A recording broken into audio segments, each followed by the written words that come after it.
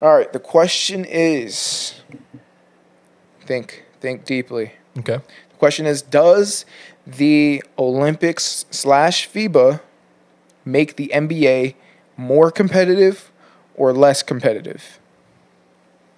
Think Is- of this one. I can repeat it if you want. Can I ask a? Can I just like ask a clarifying Absolutely. question? Is it like makes the competitive like when they're playing FIBA rules or when they're playing in the NBA? in the NBA. Okay. So does playing does the NBA sending players to play in the Olympics Mm-hmm. and in FIBA does that actually make the NBA itself a more competitive league? What do you Um, think? I'll let you answer that first, Antoine. I'll cook up something in about a minute or two. I just gotta, I gotta Huh. rack some brain cells together right now. I have no idea if that benefits the NBA because I feel like there's a, there's a significant drop off drop off in teams that are good talent wise when you go play in the FIBA World Cup and you play in the Olympics. Besides Team USA, Spain, nah, I mean Serbia. There's good players on other teams that are like you know stars in the NBA. Like you know maybe like one or two on like smaller teams right. but uh, compared to NBA level teams, I would think they would probably beat them all. I could be Right. completely wrong. I don't know. I don't know how good the other FIBA teams are, and um, the Olympic teams this year were pretty decent. But um, Right. I don't know. I don't think it makes it. I think the NBA is the most competitive league in the world for basketball. Um, right. I think nothing beats it talent wise right now. Every team has a, emer- a maybe one or two emerging stars that could be probably significantly all star significant better players probably in like the Euro League depending on like other factors. Mm-hmm. So I don't think it makes the NBA. I think the NBA I don't think they, people can hear you. I think the NBA like producing like their players and everything makes Olympics and FIBA because the majority of the players in those competitions are from the NBA. Okay. So the NBA is producing those players that are going into play for like the good players. Like there are some good international players that are going to star on their teams, but the majority of the players that are playing for like Canada, USA, Serbia, uh, Spain, all of France are all NBA born play or NBA Right. bred players. Now think of it. I want you to think of it from a very outside the box perspective because the NBA NBA players going overseas now and they're playing in Olympic games, playing in FIBA games. There's now um, a heightened um, understanding or or a heightened you know just a heightened uh, understanding of the of the game of basketball, right? So people more people are seeing basketball and seeing these amazing athletes play. And so that being said, I think that the next generation of athletes that are watching these players play, they may become inspired to play basketball, and so therefore that I think actually does impact the competitiveness of the NBA, if not now, but in the future. Do you see where I'm going with that? What do you think about that? So you're saying that people growing up watching them that want to play basketball, it helps. I mean, yes, of course. Right. Uh, I don't know. I feel like it's kind of mixed. Um, so you, you're saying that the Olympics and FIBA benefit the NBA competitively. Yeah. How so? If it, they're completely different competitions. Right. Tyler, you want to weigh in on that? Yeah. Yeah. Um, so I disagree. I don't think it makes the NBA more competitive at all. Yeah. Um, Because look, I mean, you see, like, look at the foul baiters, for example. You look at like an Embiid or or anyone that just sort of flops and tries to get like calls, like like let's say Trae Young played in the Olympics or whatever.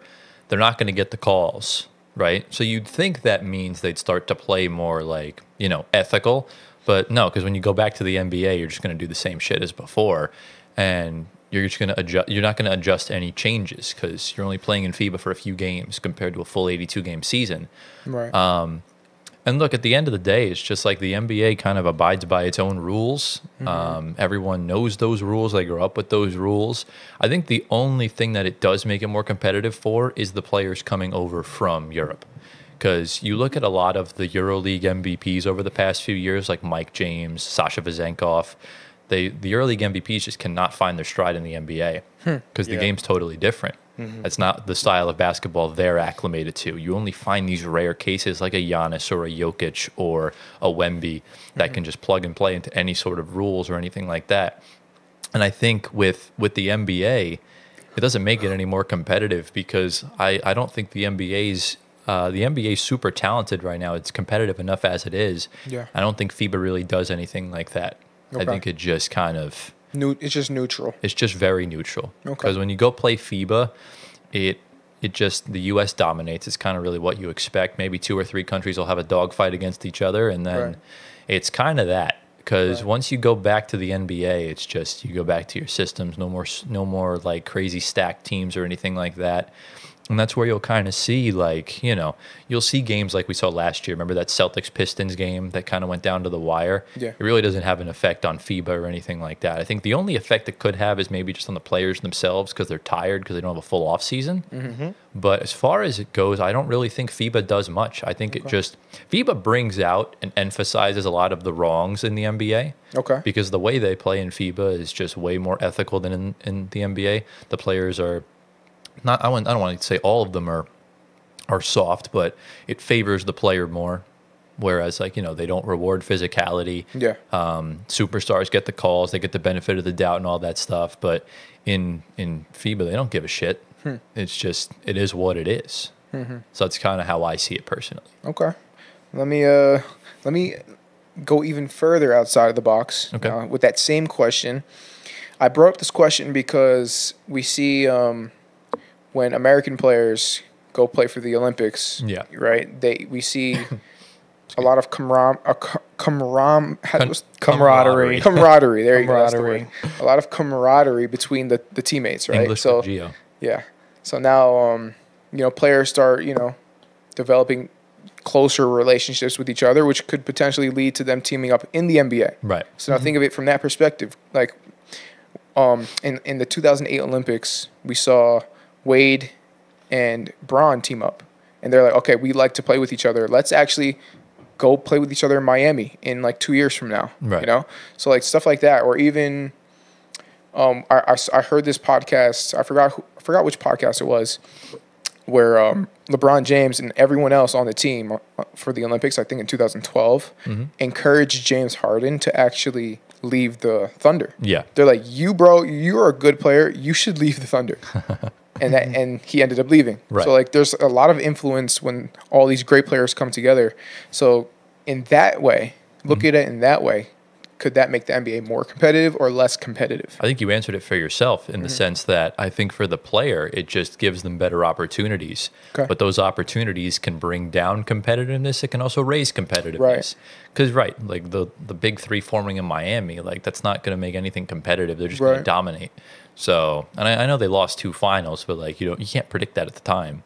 But I guess there could be certain circumstances where it would kind of raise the competitiveness, but I still just can't really see it as far as the camaraderie goes because it's just about teaming up. Right. And then once you team up, competitiveness is just going to decrease because there's no one on the level of these super teams as far mm-hmm. as everything goes. Mm-hmm. So, yeah, I don't know. I don't really. I don't think it changes much. If I'm being honest with you, I think FIBA is just something different for athletes to just go and go try and do. It's basically just an all star game with Okay. without with trying because that's essentially what it is. Mm-hmm. I think if the rosters weren't so ungodly stacked, I think it would be a lot more competitive as far as FIBA goes. But you know, I can see some parts of it. Like we saw last year during the World Cup when Mikal Bridges played with Jalen Brunson, and then that made Nets Knicks games kind of more competitive between them personally, mm-hmm. but not really mm-hmm. the teams. So I can't really see it as much